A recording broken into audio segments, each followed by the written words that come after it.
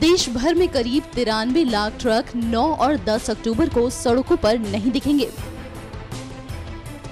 GST और petrol की बढ़ती कीमतों को लेकर ट्रांसपोर्टरों ने दो दिवसीय हड़ताल की घोषणा की है।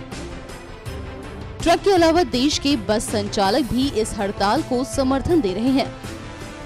बस संचालक भी डीजल की कीमतें बढ़ने और किराया न बढ़ाए जाने से परेशान है। इस महा हड़ताल के चलते लोगों की रोज़मर्रा की ज़िंदगी पर काफ़ी असर पड़ सकता है।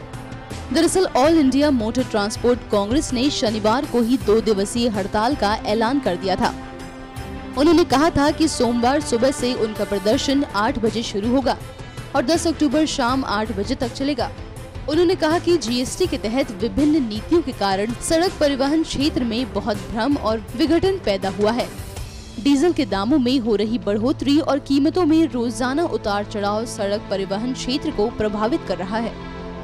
डीजल और टोल पर किया जाने वाला खर्च ट्रक के परिचालक खर्च के 70 फ़ीसदी ऐसी भी अधिक है।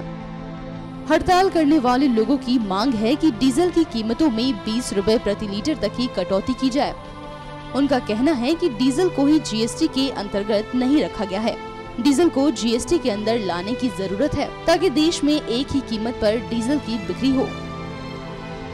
गौरतलब है कि ट्रकों की इस हड़ताल से व्यापार भी प्रभावित होगा, क्योंकि ट्रक यूनियन से कोई भी गाड़ी, उद्योगों से कोई भी कच्चा और तैयार माल नहीं उठाएगी।